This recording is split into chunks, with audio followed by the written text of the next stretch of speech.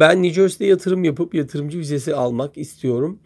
Bu minvalde sıfırdan şirket mi kurmak yoksa mevcut bir inşaat şirketini satın almak mı süreci kısaltır diye bir takipçimiz bize soruyor.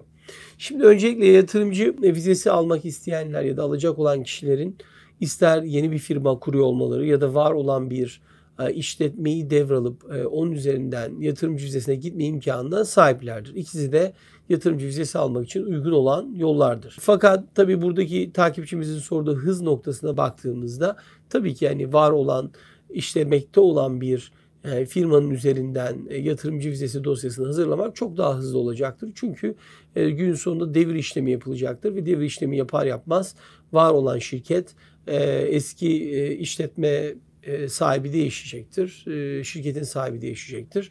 Ve dolayısıyla var olan işletme devam ediyor olacaktır. Yaptığı işlerle, çalışanlarıyla, faturalarıyla, ödemeleriyle, kazançlarıyla devam ediyor olacaktır. Dolayısıyla tabii ki hız noktasındaki soruya geliyorsanız tabii ki yeni başlayan bir şirket, yatırım yapılan, çalışır hale gelecek bir firma e, bir süre daha zaman alabilir.